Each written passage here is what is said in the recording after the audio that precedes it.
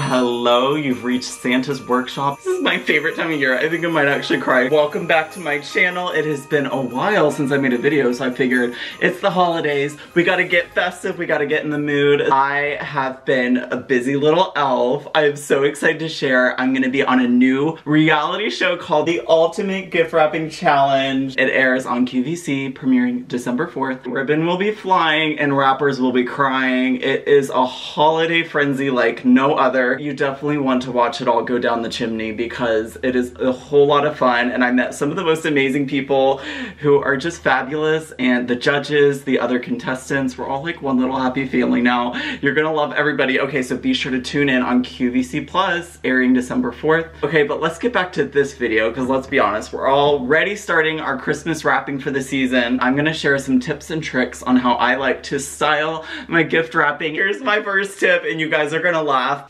styrofoam.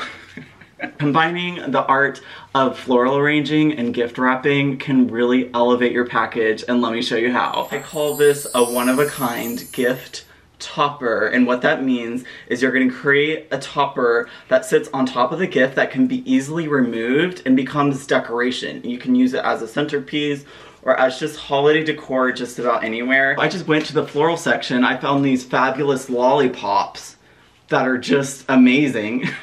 I added a big bow and then I just stuck the picks and some different ornaments into the styrofoam. It rests on top of the gift. I mean, what kid would not want to open that? That's just so much fun. Here is another smaller topper. I just stuck the bow in with some straight pins. And then I just added these disco ornaments, a feather, and some other sparkly picks to create this one-of-a-kind gift topper. Oh, it's so cute. I love it. The next thing I want to show you is my signature asymmetrical curly bow. I love wider ribbons because they just show up more from a distance, and I love a good distance read on a gift. Nothing is lamer than when you have to get up close to see the magic. Create one big loop then create another loop a little bit larger than the first one. One more big loop. You know what, just for the heck of it, I'm gonna add one more loop.